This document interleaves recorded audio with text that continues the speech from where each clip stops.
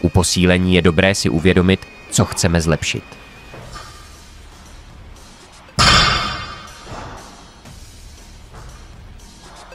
Podle toho zvolíme adaptační trénink.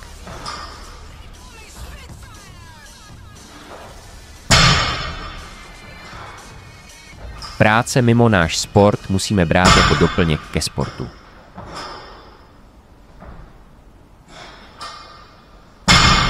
Určíme část přípravy a zvolíme trénink se zaměřením.